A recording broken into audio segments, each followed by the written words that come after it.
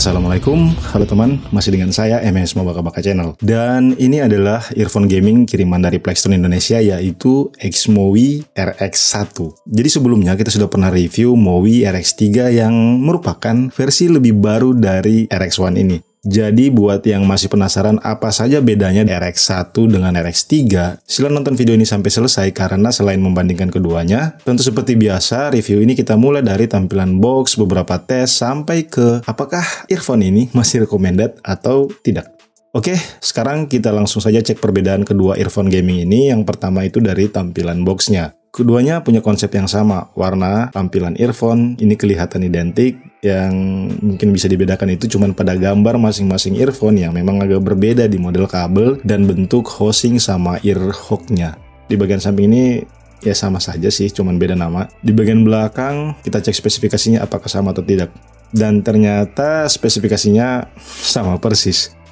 Untuk tampilan box, ini jelas tidak banyak berbeda. Tapi untuk kelengkapan aksesoris, ini ada perbedaan karena di RX1 ternyata tidak disertakan kabel splitter ke PC. Jadi aksesoris di RX3 lebih lengkap. Tapi ini juga tidak terlalu dibutuhkan buat teman-teman pengguna laptop yang keluaran saat ini. Itu kebanyakan port audionya cuma ada satu, seperti di handphone. Splitter ini dibutuhkan jika digunakan pada PC dan laptop yang masih terpisah antara port audio outnya dengan port mikrofonnya. Sedang untuk di bagian earphone, seperti yang teman lihat, ini juga cenderung sama. Bedanya itu hanya bentuk housing lalu di model dan panjang kabelnya. Di RX3, kabelnya ini sedikit lebih panjang. Begitu juga untuk bentuk inline kontrolnya yang sedikit berbeda. Di RX1 ini lebih ke kotak dan di RX3 ini membulat. Untuk fungsi tombol-tombol dan posisi mic ini sama saja, keduanya juga sama-sama punya dua mic, satu yang di inline control ini dan yang satunya lagi bisa dilepas pasang.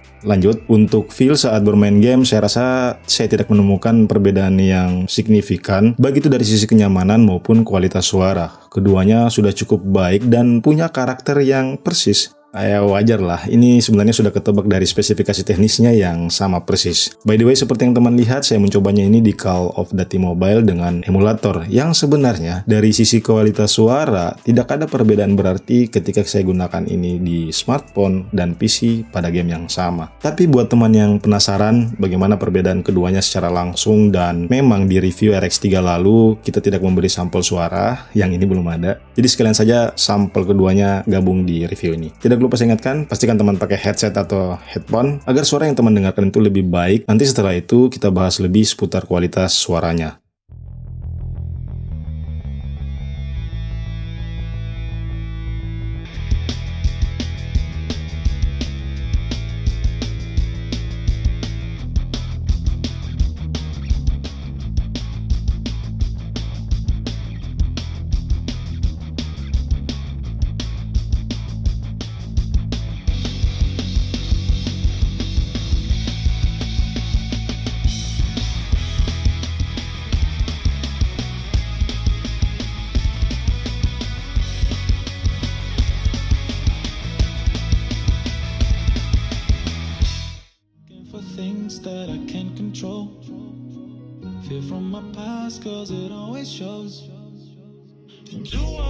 Try? Can I let it go?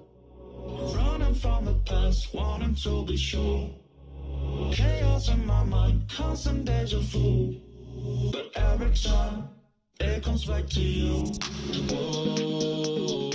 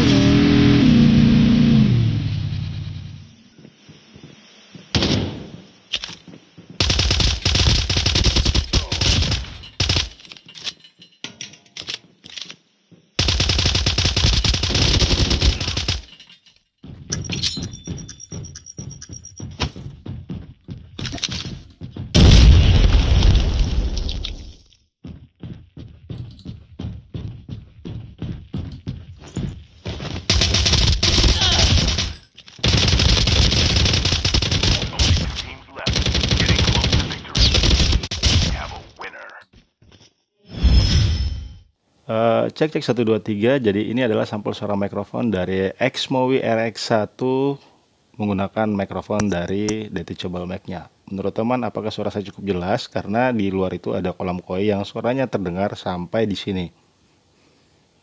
Oke, saya pikir itu saja untuk sampel suara mikrofon dari detachable mic-nya. Sekarang kita coba menggunakan mic dari inline controlnya, oke?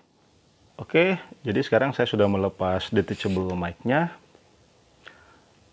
Menurut teman, bagaimana dengan kualitas suara saya? Apakah suara saya jadi lebih jelas atau sebaliknya? Tapi menurut pengalaman saya di RX3, itu kualitas suara dari menggunakan detachable mic-nya ini lebih baik dibandingkan ketika saya menggunakan mic di inline controlnya. Oke, kita lanjut ke sound quality. Oke, itu tadi sampel suara dari RX1 dan RX3. Sebelum bahas lebih jauh, saya ingin menyampaikan kalau bagian sound quality ini bersifat subjektif dan bisa saja berbeda dengan teman. Begitu juga untuk sampel yang teman dengarkan barusan, tentu tidak sama persis dengan suara aslinya yang terdengar lebih baik.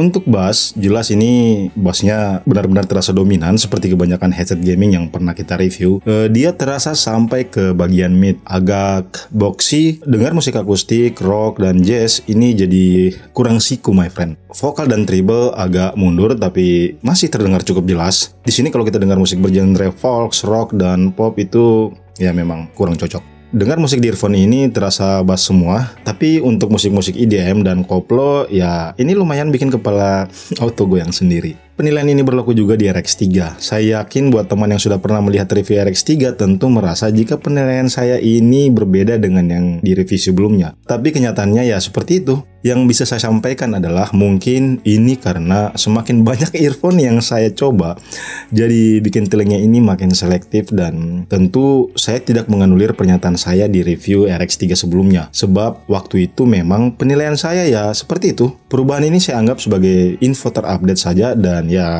buat saya penilaian sekarang ini yang paling sesuai. Begitupun kualitas suaranya saat bermain game. Dengan bagian low yang dominan, selain kita jadi lebih sensitif terhadap bunyi ledakan dan suara langkah, jelas efek stereo kiri dan kanan itu makin terdengar jelas. Cuman saya merasa agak kurang detail saja, tapi tidak mengurangi kenyamanan saya ketika bermain game. Setidaknya, saya masih menganggap RX1 dan RX3 ini recommended untuk gaming casual maupun kompetitif, terutama jika opsi harga menjadi poin pertama. Apa pun kesimpulan teman, lebih mantap jika mencobanya langsung dan percaya dengan apa yang teman dengarkan langsung. Jangan lupa untuk selalu keep smart and be yourself. Untuk dicek harga kedua earphone gaming ini, link toko resminya ada di deskripsi seperti biasa. Terima kasih untuk teman yang sudah support channel ini dengan like, subscribe, dan sharingnya. Saya MS Mbaka Baka Channel, sampai jumpa di video selanjutnya. Wassalamualaikum.